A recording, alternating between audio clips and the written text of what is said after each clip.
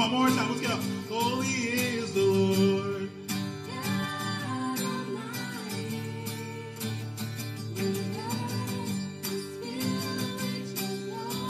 Come on, you want to praise him for 2013? Lift up your voice. Come on.